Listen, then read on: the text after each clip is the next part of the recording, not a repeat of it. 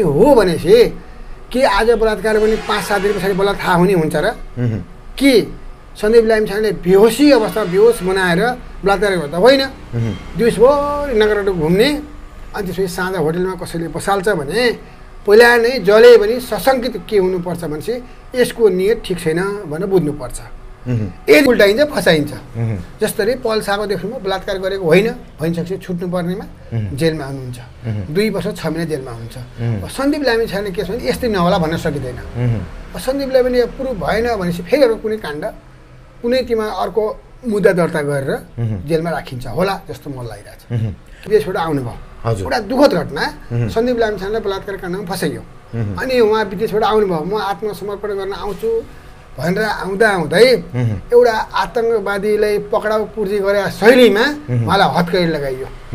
एकदम बक्तरबाट गाडी पुलिसका भ्यान टन्नै लगाएर हजुर। उहाँलाई हत्कडी लगाएर लिए डिलीजी तपाईँलाई स्वागत छ हाम्रो युट्युब च्यानलमा। धन्यवाद हजुर। अब यो पछिल्लो समयमा एकपछि अर्को विवाद देखिराखेको छ। सुपरस्टार नायक पल शाहपछि अहिले हेऱ्यो भने अब सन्दीप लामिछाने प्रकरण जोडिएको छ। सन्दीप लामिछानेको जुन बलात्कार केस पर्यो यसलाई तपाईँले कसरी हेर्नु भएको छ के हो? के छ भने नेपालमा नेपाललाई चिना चिनाउने सेलिब्रेटीहरूलाई क्रमबद्ध रूपले फसाइँदैछ। हजुर। जसरी पल शाहलाई बलात्कार काण्ड भनेर मुद्दा दर्ता गरियो पछि चाहिँ आरोपित भनिएकी बालिकाले चाहिँ होइन कसैको दबाबमा हो भनेर भनियो। तर पनि पल साल चाहिँ छोडिएन। बलात्कार काण्डमा सफाइ पाउनुभयो। यौन दुराचार भनेर अर्को थरी मुद्दा लगाएर जेलमा राखिएको छ। हजुर। त्यसै गरी यो सन्दीप लामिछानेको पनि के छ भने चाहिँ यदि साँच्चीकै बलात्कार गर्यो भने त बलात्कारले कारवाही हुनैपर्छ। तर आज बलात्कार हो भने एक हप्तापछि थाहा हुन्छ हुँदैन। उम्, स- आज बलात्कार भयो।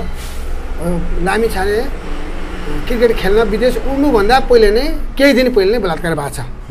पीडित बालिकाको भनाइअनुसार अनि हो भनेपछि के आज बलात्कार पनि पाँच सात दिन पछाडि बल्ल थाहा हुने हुन्छ र कि सन्दीप लामिछानेले बेहोसी अवस्था बेहोस बनाएर बलात्कार गर्दा होइन। दिउँसभरि नगरबाट घुम्ने। अनि त्यसपछि साँझ होटेलमा कसैले बसाल्छ भने पहिला नै जले पनि सशङ्कित के हुनुपर्छ भनेपछि यसको नियत ठिक छैन भनेर बुझ्नुपर्छ। यदि आफ्नो नियत ठिक छ आफूले पनि त्यही चाहिएको हो र चाहेको हो भनेपछि फेरि बलात्कार भनेर किन भन्ने?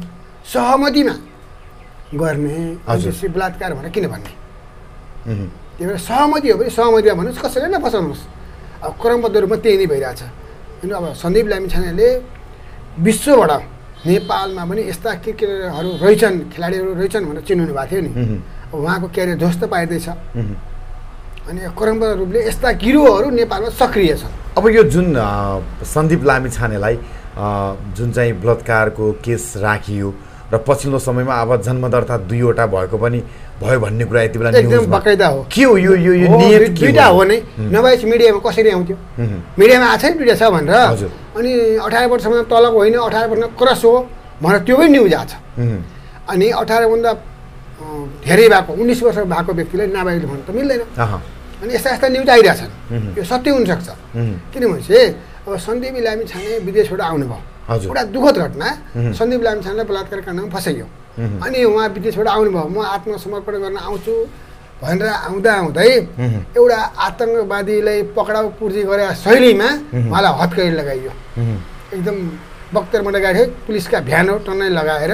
उहाँलाई हत्कडी लगाएर ल्याइयो यदि अदालतले भोलि सन्दीप लामिछानेलाई सफाइ दियो निर्दोष रहेछ भनेपछि त्यो हत्कडी लगाएको औचित्य रह्यो। यदि दोषी प्रमाणित नहुँदै त लगाउनु पर्ने थिएन। र अरू कुरो यदि सन्दीप लामिछाने नआउने भाग्ने भइदिएको भए पनि विदेशबाटै आउनुहुन्न त्यो नेपालमा आएर आत्मसमर्पण गर्छु भन्दा भन्दै भ्यानमा आएर मात्रै लगेको भएपछि अति राम्रो हुन्थ्यो। हतकडी लगाइयो। अब हामी देख्नलाई धेरै नमजा भयो।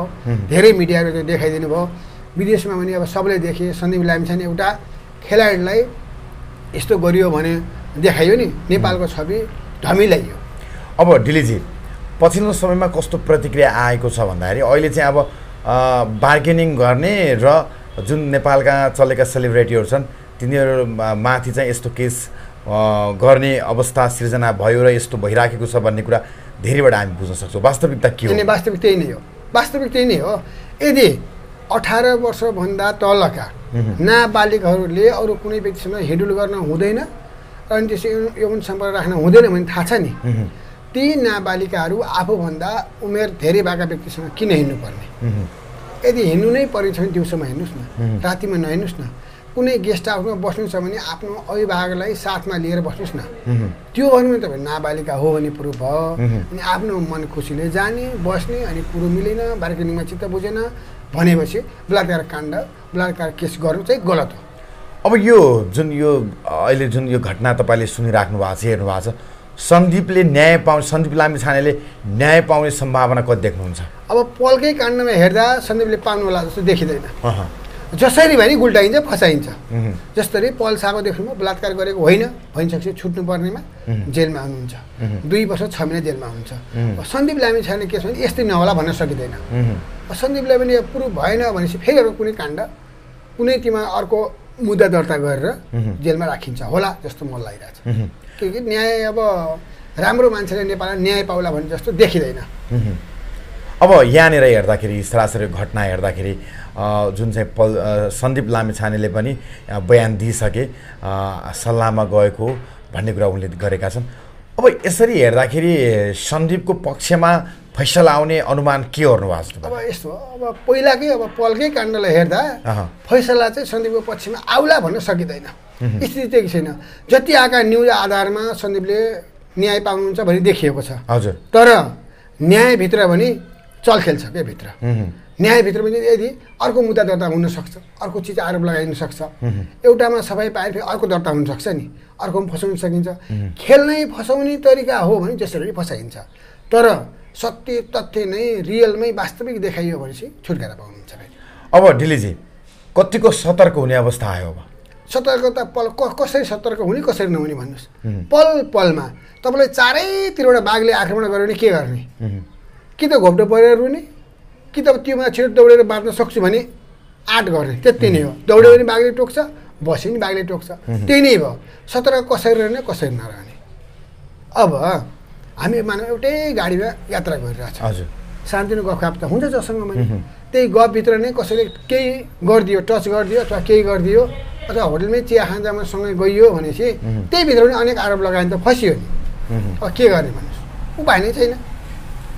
अब यहाँनिर अब अलिकति पल शाहजीको कुराकानी जोडौँ। जुन अदालतले पल शाहजीलाई चाहिँ निर्दोष साबित गरे तापनि दुई वर्षको कैद अथवा चाहिँ कारागारमा बस्नुपर्ने अवस्था सिर्जना गर्यो। योबाट पल शाहको करियरलाई कतिको धक्का? निर्दोष हुँदाहुँदै पनि यस्तो फैसला आउनु तपाईँलाई के लाग्छ? अब यो फैसला जायज थिएन। अब अदालतले गर्यो। अदालतले गर्यो सम्मानित अदालतको मानहानि गर्नु भएन। अब ठिकै छ भन्नु पर्यो। तर के अरे चाहिँ केही फरक पर्दैन। तपाईँले एउटा बाघलाई खोरमा थुन्नुहोस्। तर त्यो बाघ दुब्लाएर कहिले पनि बिरालो हुन्न। बाघ बाघ नै हुन्छ। त्यही भएर पलजीलाई अब दुई वर्ष छ महिना भनिएको छ। त्यतिखेर निस्क्यो भने उहाँका फिल्म त्यति नै आउँछन् म्युजिक भिडियो त्यति नै आउँछन्। हिट हिट नै हुनुहुन्छ। अब डिलीजी नेपालका नेपाललाई चिनाउनको लागि लागि परेका स्टारहरू लाई नेपाल सरकारले कतिको संरक्षण गर्नुपर्ने के छ यसमा तपाईँको संरक्षण चाहिँ बिल्कुल गर्नुपर्ने हो। तर अब त्यति गरेको देखिएन। अब एउटा कलाकारितामा लाग्यो पत्रकारिता गर्ने रवि लामी छानेलाई पनि त अब एउटा काण्डमा फसाएको हो। तर उहाँ चाहिँ नि निर्दोष भएर निस्किनु भयो। अनि त्यसै गरी अब पल शाहलाई पनि अब बलात्कारी भनेर गरियो तर बलात्कार होइन भनियो। त्यही पनि उहाँ निस्किनु भएन। अब सन्दीपको आयो। त्यो नेपाललाई केही चिनाउँछु र केही गर्छु भन्ने व्यक्तिलाई क्रमबद्ध रूपले फसाइँदैछ।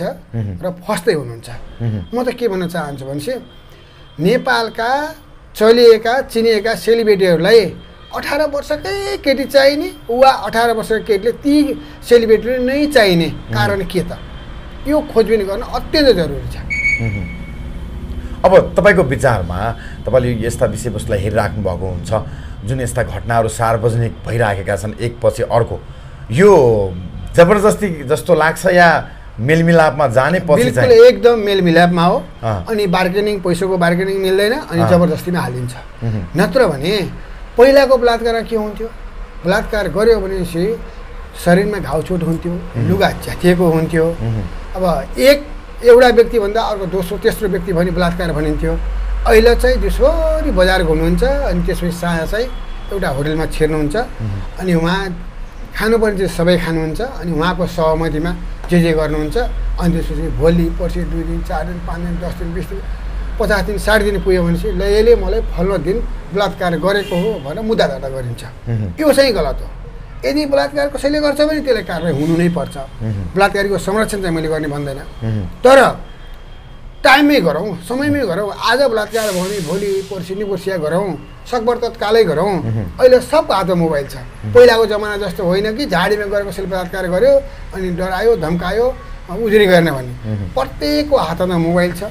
मोबाइलमा ब्यालेन्स नभए सही नम्बरमा फोन गर्न सकिन्छ।